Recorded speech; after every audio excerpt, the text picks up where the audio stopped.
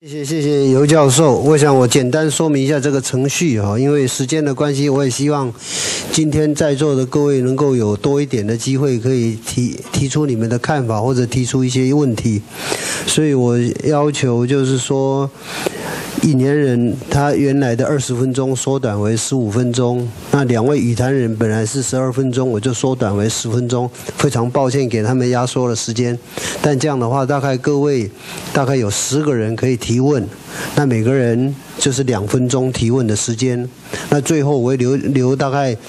每语坛人还有引言人各五分钟来回应各位时间的各位的问题的时间。好，所以整个程序大概就接下来请两位语坛人各十分钟，然后有十位在座的朋友可以提出问题，每个人两分钟，然后。接下来由在座的这三位先进来回应你们，但是每个人大约只有五分钟。我想今天的程序大致上是这个样子。那现在接下来我们就请廖福特廖教授来做应言，呃，这来做语谈。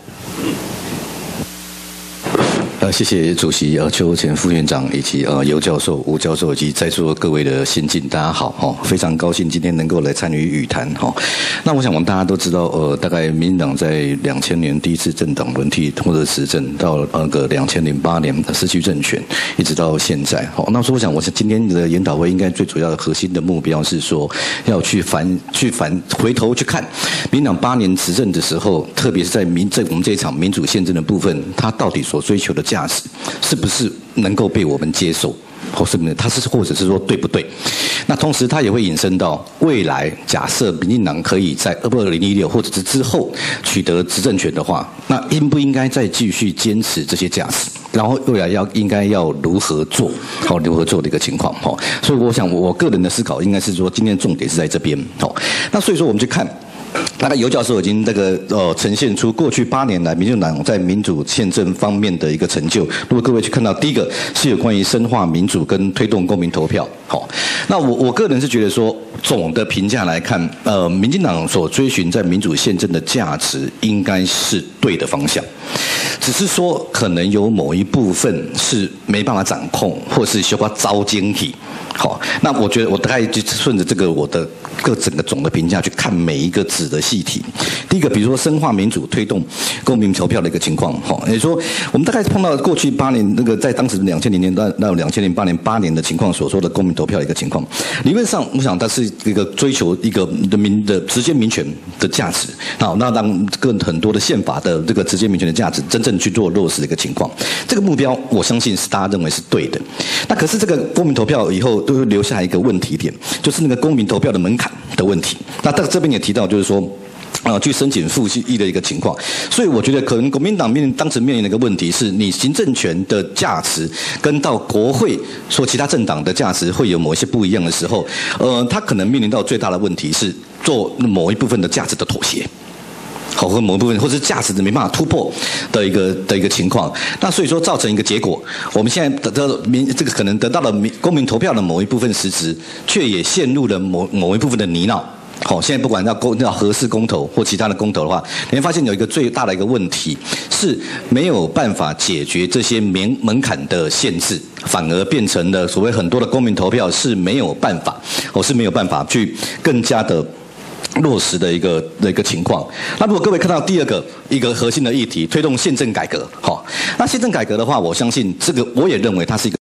的的路途。那那也得到了某一些成果。刚才尤教授也提到了，哈，那问题他也留下了一个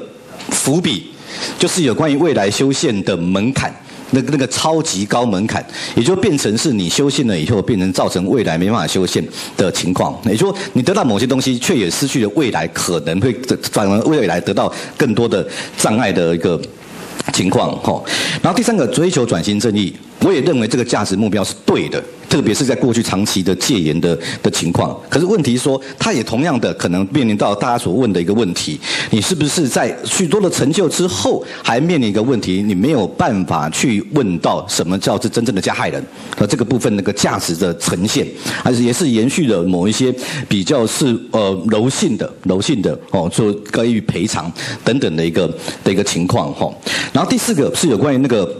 呃，落实人权保障的部分，哈，那这个部分我个人是有某一部分的参与，然后刚好吕前副总统也来了，我刚好 这八年大概也是跟他在从事这方面那个落实人权保障的这个情况。那我个人认为，恐怕民进党在这八年民主宪政部分，这个部分应该是值得我们去。肯定的一个部分，好，那我想这这个部分的话，或许可以跟各位补充一下，就是民进党其实最相当重要的人权的政策呈现，是在当时提出人权政策白皮书，那整个架构，因为这个架构大概是整个呃台湾历史以来第一份真的去架构一个国家的人权的思考的文件，我相信。当时八年在所架构的人权的思考，其实一直延续到台湾现在非常重要。如果马政府他有任何的人权的概念的话，其实我认为都没有脱离，都没有脱离这个。哦，整个当时民党政府所得到那个执政所建构的那个人权的架构的一个情况，也就是现在我们朗朗上口那个人权立国的一个情况，其实是在当时去建构起来的。好，那各位也先不要忘记了，其实当时呃，陈前总统跟吕副总统都曾经得过人权奖。这个部分我讲实话，呃，一般的团体人权团体基本上是不会颁奖给政治人物的啦。那你两个两个总统跟副总统都得到人权奖，其实是在国际上极少、极少、极少会有这种现象的。那你就他得到了这个东西，好，那可是他也面临了一个问题。我举个例子，当时比如说在我们现在所推动那个所谓批准两公约的情况，其实在两千零三年，当时立法院已经通过了。可是有提出一些保留，跟最重要的有一个人民自决权那个声明，那当时就变到很大的争执啊，就是你要在这个执政的时段得到这个成果，还是要坚持它的价值的呈现？那后来我们其实是决定了做价值的坚持。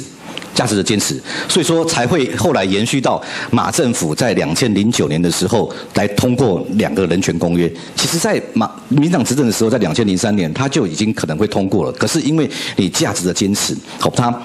变成延续了，哦，延续歌，然后现在得到一个情况，那个比较好的一个情况，好，那包括这个第五个是追讨那个不动公共不动产的一个，我认为这个也是应该要做的一个转型的正义。包括第六个推动证明彰显台湾的主体性，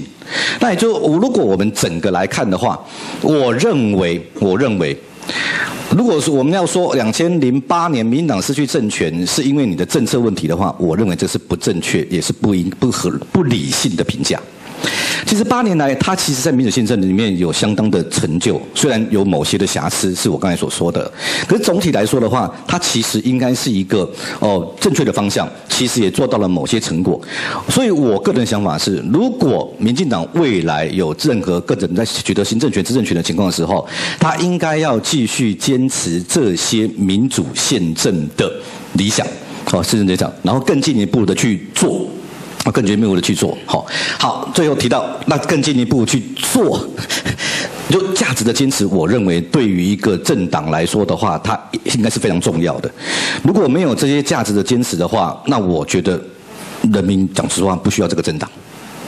要告诉我你的价值是什么，而不能够因为为了要取得政权，或者是因为执政之后而做了某些的更多的政治的妥协。哦，这个我是认为民进党应该要扮演这个角色的一个情况。好，那再后来就是说，如果说未来民进党可以取得执政权的时候，刚才我们可以看看得出来，就是说，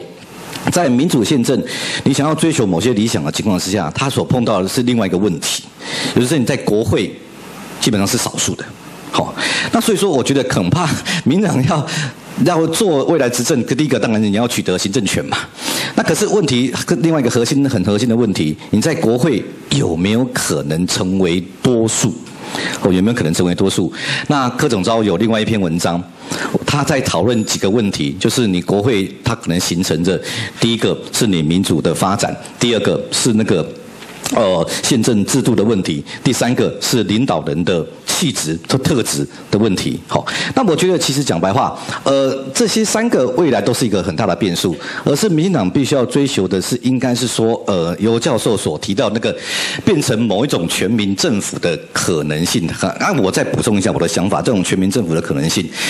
第一个目标，当然民进党可能去追寻你在立法院可以变成的绝对的多数，至少超过半数。可是，如果不能够达到这个目标的话，我觉得或许应该是濒临到临界点呐，也就趋近于多数，然后才有可能去达到，呃。尤教授所提到的那个全民政府的可能性呐，也就是说，照道理，民进党未来应该要思考两个策略。第一个，即使你是所谓的分裂政府的情况之下的话，要不要继续坚持民主宪政的理想呢？这是我觉得是价值上的坚持的问题。那我个人认为是，其实我刚才说了，八年的执政的过程里面。民进党，我认为民主宪政这个部分的坚持是对的，好是对的。那你也可以看出来，有时候你稍微做了一些妥协以后，就会产生后续的影响哦，包括公民投票，包括修宪那个门槛的情况，它会造成更永久的。我刚才举了几几个例子哦，在妥协与不妥协之间，真的必须要做以价值为最核心的思考了。也说，在如果假设民党还是一个。那个分裂政府的状态之下的话，我认为有时候价值的坚持是应该超过其他在某个时间点的政治妥协的。也就是说，如果你没有做政治妥协，只是在当时没有得到你的价值，可是你做了某一部分政治妥协，可能反而变成你在追寻价值的绊脚石。这可能会是这个状况。然后第二个就是你要比如追追寻全民政府的可能性哦，那我相信这个应该是刚才所提到的，你必须要达到某一种临界点才有可能呐。如果没有达到任何的临界点的话，它可没有办法去形成一个比较可以准全民政府的这种情况。好，那我想因为时间的限制，我个人都发表在我想法到这边，谢谢。